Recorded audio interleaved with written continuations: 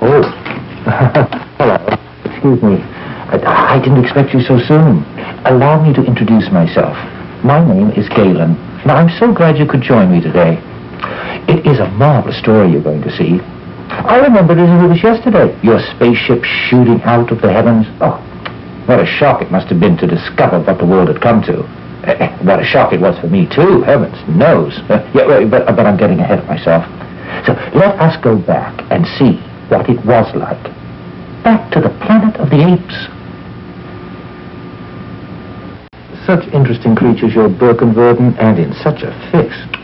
Oh, not to mention the fact that I was up to here my, myself. Hmm. Huh.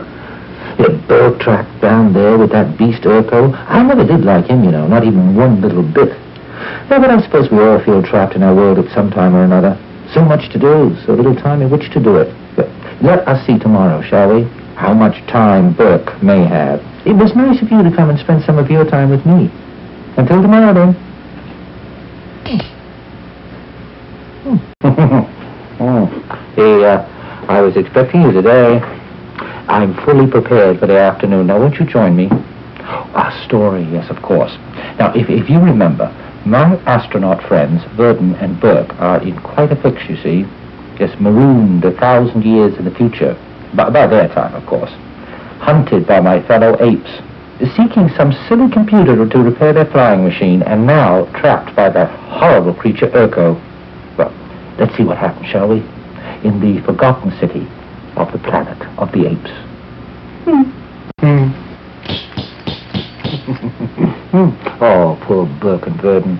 All those years of training in your world of technology only to be thrust into one of savage barbarity. It's quite inhuman, isn't it? well, there I was doing my best to help. My youthful enthusiasm. Yeah, I wonder what's to become of them. Don't you?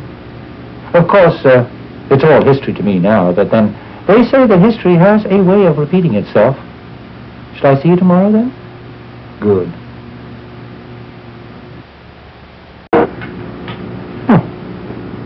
Hmm. mm-hmm. Oh, there you are. It's getting easier for me to remember your arrival. Hmm. Oh, I do so look forward to our visits. Yeah, much more than I looked forward to helping our astronaut friends, I'm afraid. Well, at the risk of my very own life, I might add. Burke and Virdon captured their precious computer disk stolen and Urko on our trail. Goodness, I, oh. And then, when we least expected it, well, I have never seen such treachery and greed on the planet of the apes. Oh.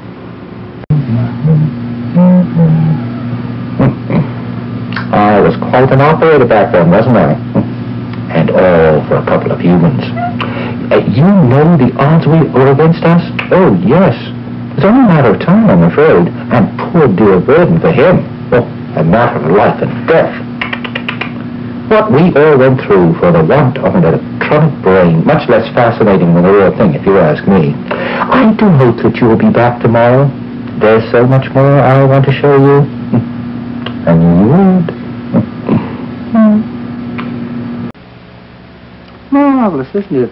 The human body, how it's evolved. oh, personally, I never tire of its complexity. I suppose it all started with Virdon and Burke in that hospital. Oh, you remember Virdon's escape from that horrible castle at Urko, and then being shot by his gorillas. Oh, we had no choice but to go to my friend at that hospital. And then I had to steal Dr. Sayers' book on human anatomy. Why, well, it was, a, it was a matter of life, liberty, and pursuit on the planet of the apes. Oh, isn't it a fine kettle of fish poor Virdon and Burke find themselves in now? And with nothing but their wits to depend on. And me, back in that musty cave, knowing the worst had happened, well, which of course it had. Well, what do you expect from such headstrong humans? Hmm. yeah, and their empty-headed chimpanzee friend, I suppose. But then what I had to go through to try and get them out, why, oh, that, that was quite an adventure. Well, I, I'll see you tomorrow, then, for the final chapter.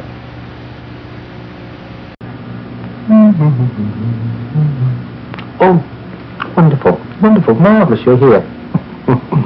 ah, little projects do help one pass the time, don't they? I'm almost finished with mine. Alas, I'm afraid that our time is nearly at an end, too.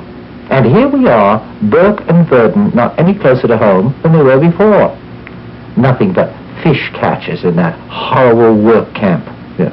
depending upon the uh, inferior intelligence of their ape companion. Hmm. now, what would your Charles Darwin say to that in our farewell to the planet of the apes? And there you have it. And there you have it. Virdon and Burke, oh, well, they found their computer in another city and disappeared into space as suddenly as they'd arrived. What about me? Mm, I certainly could have gone with them. Back to your time, your world, uh, where apes are kept in zoos. Uh, uh, tell me now, would you have come to my world willingly? Hmm? You will, eventually. Of course. It's only a matter of time.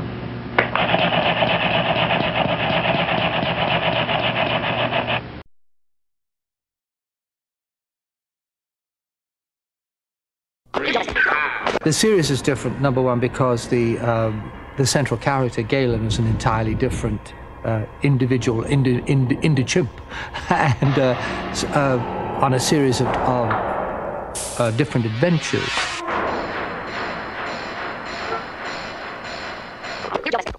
All the attributes of Galen were certainly ones that, as a human being, I would be happy to embrace and only wish I could be. So it was a wonderful skin to be inside.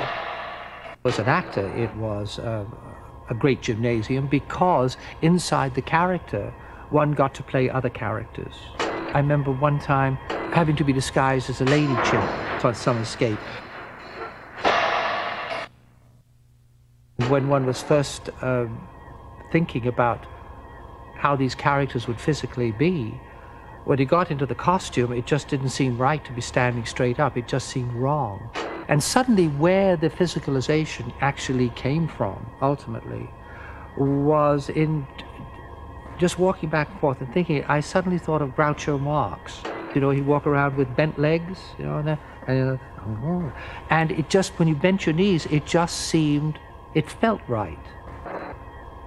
And also fusing from mentally fusing your body from your shoulders to uh, the end of your rump, just keeping it so that you're moving in one piece. That seemed correct. So the spine seemed to, no.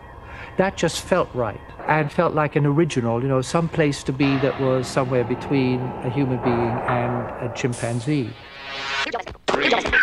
As an actor, sometimes you get to play roles that really uh, make you want to be a better person or perhaps cause you, in a sense, to be a better person. Certainly the, those characters in, in Apes or in, in, in that arena.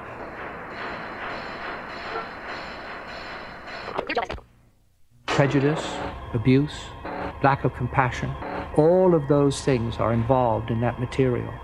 How we as human beings uh, are prone to these terrible reactions. One of the great things you must understand is that when you're wearing that ape makeup, you never age.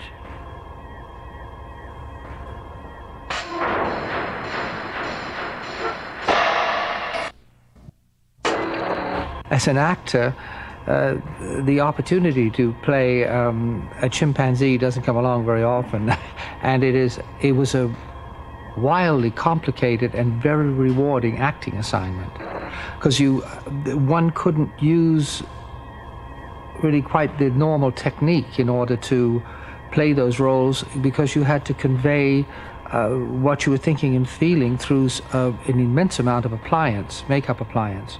So uh, the thought processes had to be most particular. I found it intriguing, and the makeup teams that were involved were so extraordinary. Those men were not only imaginative, but so deeply kind. So I, I also love the fact that children really uh, appreciated and loved all of those projects. There were a lot of them. I wish there'd been more.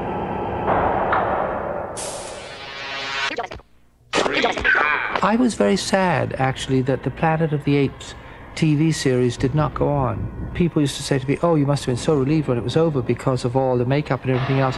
But I wasn't at all. I, I really felt that that series not only had something to say, but was highly entertaining, but it was wonderful to be uh, associated with. All of the acting choices were just human because one of the points of uh, these chimpanzees were that they had evolved to um, another level. All one did was play uh, the intent and content of a human being. When you've got that much slap all over you, you really don't have to uh, try and pretend to be a chimpanzee or an orangutan. It's done for you. The first character I played was Cornelius, who was sort of very studious and intellectual. And then uh, Cornelius and Zira, Kim Hunter, we were killed in the uh, third film. And then I played my own son, who was Caesar, which was a character I liked a great deal because that was sort of. Uh, I mounted that really on the idea of a combination of, of Zira and Cornelius, but it was more fun because Zira had much more of a sense of humor. She was much more larky than Cornelius, so he was more fun to play in a sense than, than Cornelius.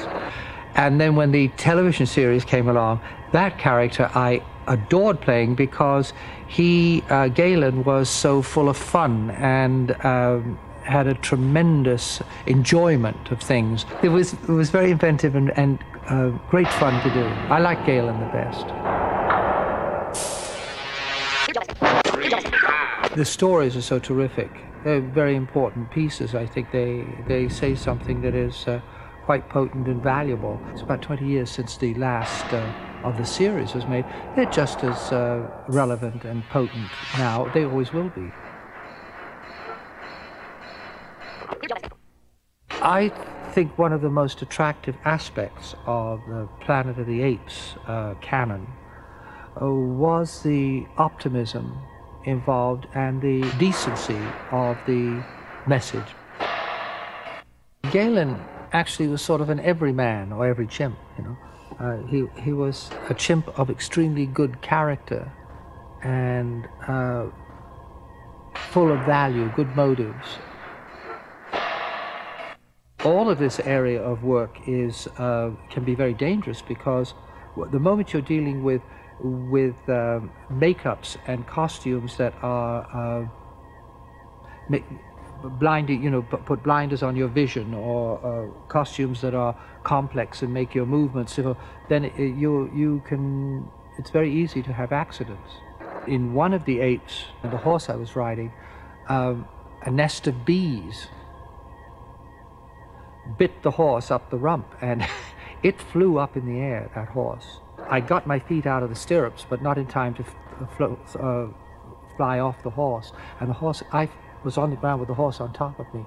Luckily, it was in sand. That is the last time I decided from then on it was only going to be um, uh, doubles did the work because it was too dangerous.